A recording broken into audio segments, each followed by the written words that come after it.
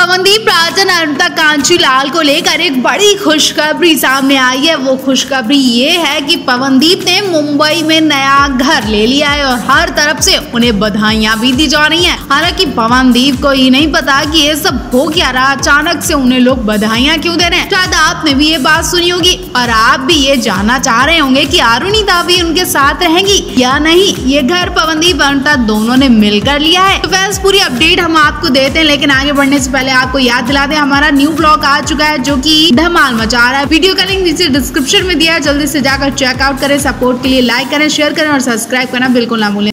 तो फैंस पवनदीप राजन ने मुंबई में घर तो लिया है, लेकिन नया घर नहीं लिया है, बल्कि किराए का घर लिया है। पवनदीप के साथ अरुणिता भी नहीं रहेंगी। दरअसल जब तक ज्योति दीप का मुंबई में काम चलेगा, यानी वो इंडियन आइडल थर्टीन के शो में जब तक नज़र आएँगी, तब तक वो मुंबई में ही रहेंगी। ऐसे में पवनदीप ने ज्योति दीप और माँ के लिए किराए का घर खरीदा है। पवनदीप अक्सर इवेंट शो को लेकर बाहर घूमते रहते हैं, इसलिए वो घर में बहुत कम रहते हैं। और ज्योति दीप के साथ उनकी माँ उनका ख्याल रखने के लिए उनके साथ ही रहेंगी। वहीं अरुणिता की बात करें तो अरुणिता कांचलाल काफ़ी वक्त से अपनी मैनेजर दृष्टि के साथ रह रही हैं। हाँ ये बात सच है कि पवनदीप अरुणिता दोनों का घर आस पास ही है और दोनों काम की वजह से ज़्यादातर एक साथ ही रहते हैं। वैसे फैंस का कहना है की आप तो पवनदीप अरुणिता के लिए मुंबई में घर खरीदना कोई बड़ी बात नहीं है, वो तो किसी भी वक्त खरीद सकते हैं। लेकिन अभी ये दोनों अपने करियर पर फोकस दे रहे हैं और जब तक ये बड़े सिंगर नहीं बन जाएँगे, तब तक ऐसे ही संघर्ष करेंगे और ऐसे ही कम बजट में गुजारा करेंगे। तो आप पवनदीप अरुणता के लिए क्या कहना चाहेंगे? कॉमेंट बॉक्स में हमें ज़रूर बताएँ।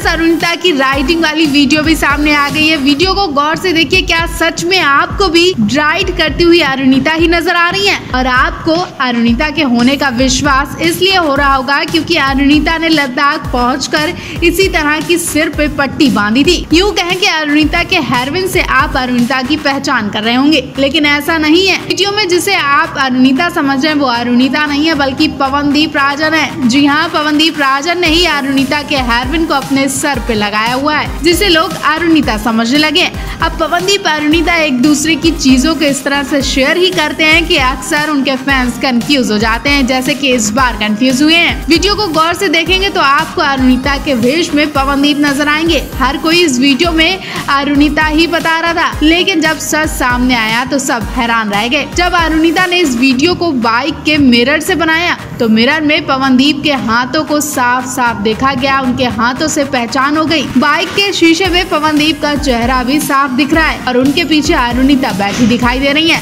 तो आपको ये दिलचस्प वीडियो कैसी लगी? क्या आप भी अरुणिता को सच में राइड करते देखना चाहते हैं? तो फैंस ये दिन भी दूर नहीं है क्योंकि पवनदीप उनके साथ हैं।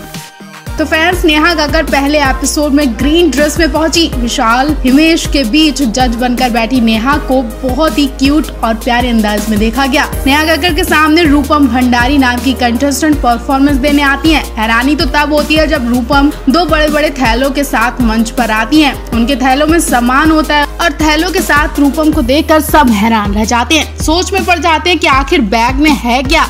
और रूपम के लिए बैग इतने ज़्यादा ज़रूरी थे कि वो परफॉर्मेंस के दौरान उन्हें साथ में ही लाई है। नेहा कक्कर बोल पड़ती है कि मैं ये बात जानने के लिए बहुत ज़्यादा एक्साइटेड हूँ कि इन बैग्स में क्या है और आप क्यों लाई हैं? रूपम से नेहा कहती हैं कि मैं देखूँगी, लेकिन उससे पहले आप गाना सुनाए, फिर मैं ये बैग देखूँगी। रूपम गाना सुनाने के बाद अपने बैग से इयर निकालने के बाद नेहा कक्कर के पास ले जाती है और बोलती है की इन्हें ले लीजिए। इन बैग में जो भी सामान है, वो मेरी रोजी रोटी है। इन इयर को बेच कर वो अपने घर का गुजारा करती है। नेहा कक्कर उनसे इयर खरीदती है और बार्गेनिंग भी करती हैं। हालाँकि नेहा के बार्गेनिंग करने पर विशाल और हिमेश कहते हैं कि हमें पैसे देने में कोई दिक्कत नहीं है, इसलिए हमें बार्गेनिंग भी नहीं करनी चाहिए तब नेहा कहती हैं कि लड़कियों की खास आदत होती है कि उनके पास कितने भी पैसे क्यों ना हो, लेकिन वो बार्गेनिंग ज़रूर करती हैं। नेहा की ये बात सुनकर सब हंसने लगते हैं तो आप लड़कियों की इस आदत से कितने वाकिफ हैं कमेंट बॉक्स में हमें ज़रूर बताएँ तो अंकिता लोखंडे और सुशांत सिंह राजपूत का रिलेशनशिप काफ़ी वक्त तक चला था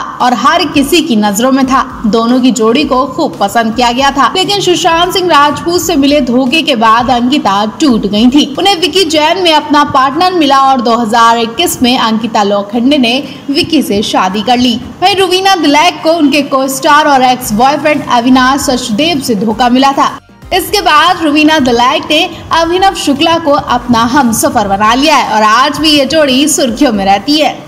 वहीं सना खान को कोरियोग्राफर मेलविन लुइस से धोखा मिला था, जिसके बाद एक्ट्रेस बुरी तरह टूट गई थी, लेकिन बाद में उन्हें मुफ्ती अनस सैयद के रूप में अपना हम सफ़र मिला। वहीं शादी के बाद आज एक्टर शाही ज़िंदगी जी रही है। इनके अलावा नेहा कक्कर, जो अपने ब्रेकअप को लेकर कई बार सुर्खियों में आ चुकी हैं। नेहा कक्कर को एक्टर हिमांश कोहली से धोखा मिला था, जिसके बाद वो टेलीविज़न पर भी रोई थी।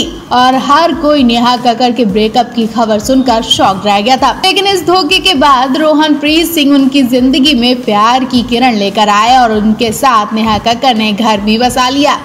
वहीं एक्ट्रेस काम्या पंजाबी को एक्टर करण पटेल से धोखा मिला था, जिसके बाद काम्या ने बंटी नेगी से शादी की। हालाँकि इनकी शादी भी सफल नहीं हो पाई, लेकिन शलभ डांग, एक्ट्रेस की ज़िंदगी में दोबारा प्यार की उम्मीद लेकर आए थे और अनीता हसनदानी को एक्टर अजाज खान से धोखा मिला था। लेकिन रोहित रेड्डी से प्यार होने के बाद अनीता ने तुरंत घर बसा लिया था। एक्ट्रेस गौहर खान और कुशाल टंडन की जोड़ी बिग बॉस में बनी थी। लेकिन शो से बाहर होते ही दोनों अलग हो गए थे। वहीं जैस दरबार गौहर खान की ज़िंदगी में प्यार का बाहर लेकर आए। दोनों शादी के बाद खुशी खुशी रह रहे हैं। इनके अलावा दिव्यांका त्रिपाठी ने करीब आठ सालों तक शरद मल्होत्रा को डेट किया था, लेकिन उनसे मिले धोखे ने दिव्यांका को पूरी तरह से तोड़ दिया था। हालाँकि विवेक दहिया से मुलाकात के बाद दिव्यांका की किस्मत दोबारा चमकी। दोनों अब खुशी खुशी शादी के बाद ज़िंदगी बिता रहे हैं।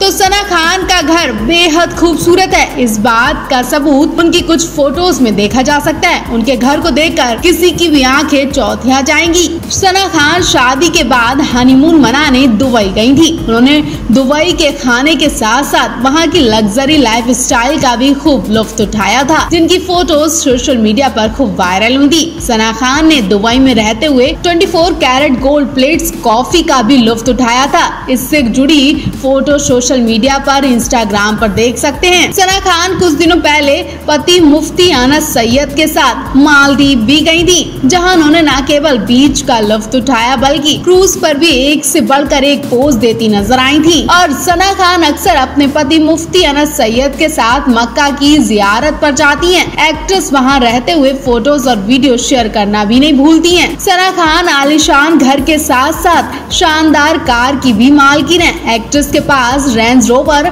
जिसकी कीमत करीब दो करोड़ बताई जाती है। सना खान ने शोबिस को भले ही अलविदा कह दिया हो, लेकिन उन्होंने काम करना नहीं बंद किया। एक्ट्रेस ने अपना एक स्पा शुरू किया जिसका नाम है face spa by Sana Khan.